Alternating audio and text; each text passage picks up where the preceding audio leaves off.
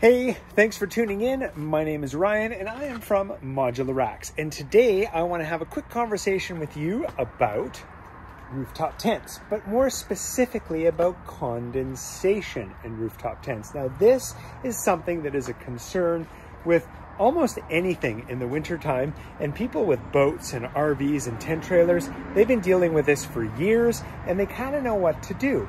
But it's not something everyone considers with rooftop tents. And more importantly, rooftop tents, a lot of them now, they're aluminum shells. So I wanna show you something. I've got this handy dandy little tool here. This is a temperature gauge. And it's a beautiful day, one of the nicest we've had.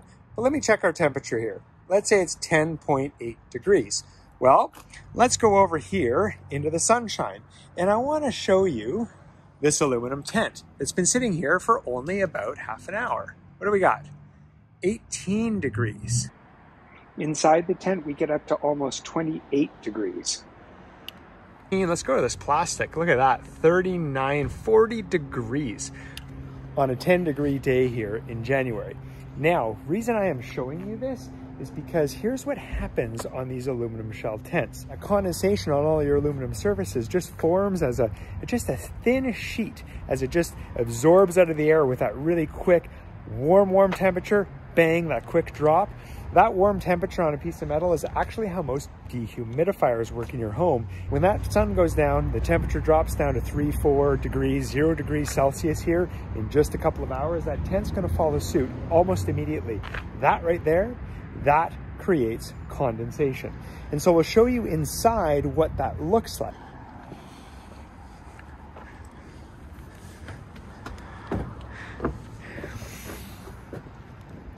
So I have just opened this tent and the last time it opened, it was dry inside. That was just a number of days ago. We've had very little rain.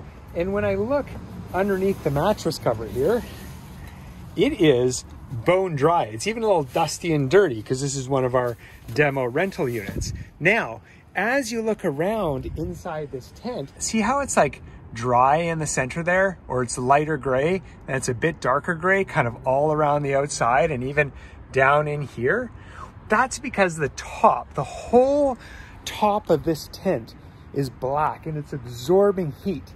And in behind this fabric, that is all aluminum.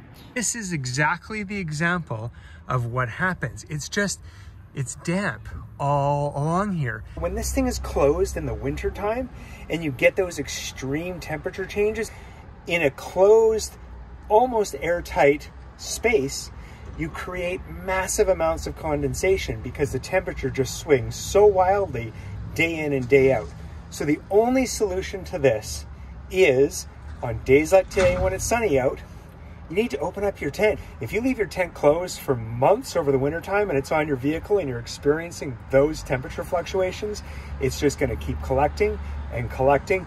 And you're going to open your tent, it's either going to be soaking inside, or worst case scenario, if you leave it long enough, and all of a sudden spring comes and it actually gets warm enough out that then that water can start growing mold. And this is not just specifically to aluminum tents.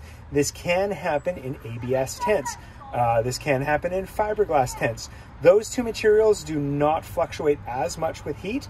Uh, we've actually had it happen even on soft shell tents where we've left them on vehicles, not closed them up or opened them up often enough and then in the springtime, we've got little mold spores all over the tent because it doesn't create as much condensation, but it does create some. And we know we've dried those tents out completely. So one more example of this, just in case you don't believe me with the condensation.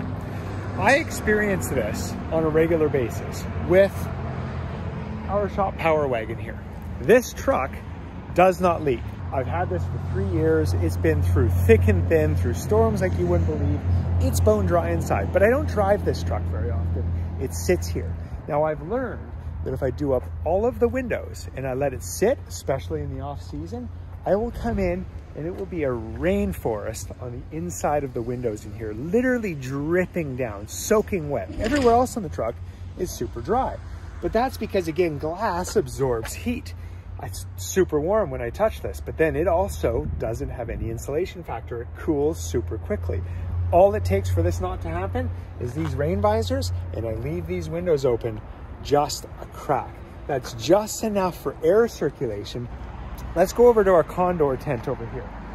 The ABS plastic creates a lot of heat, like we saw on the gear pod before, but it's not a sealed unit.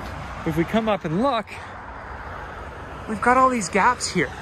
So that, that is similar to the Power Wagon over there.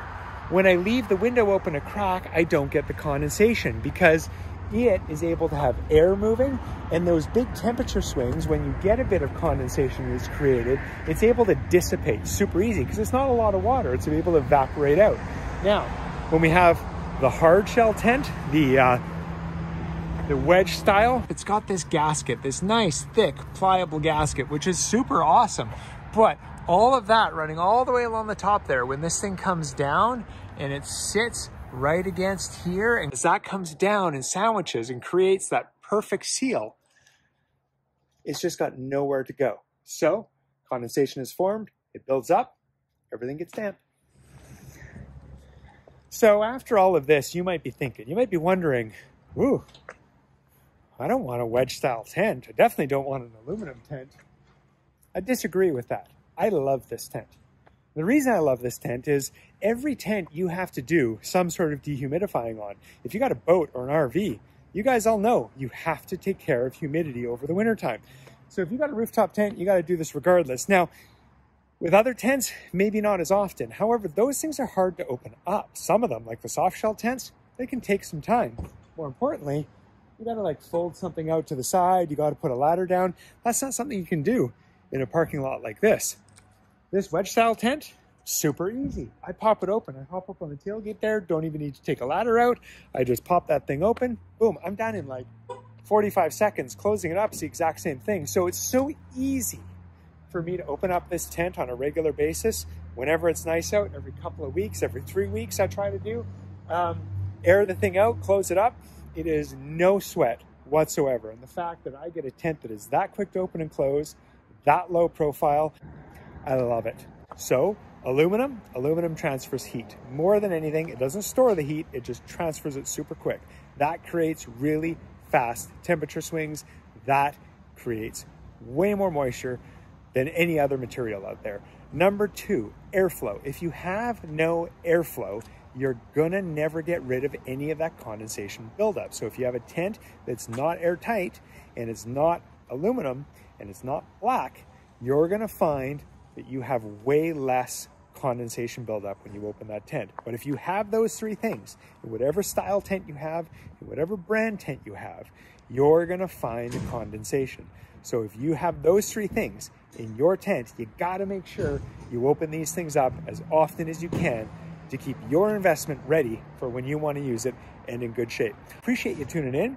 If you like this video, smash that like button. If this is your first time seeing one of our videos, subscribe because the next time we're reviewing a product or giving you some information, you'll get notified. If you got any comments about what we're talking about here, about this video, please make them below. We'd love to hear what you have to say. Again, my name is Ryan from Modula Racks. See you next time.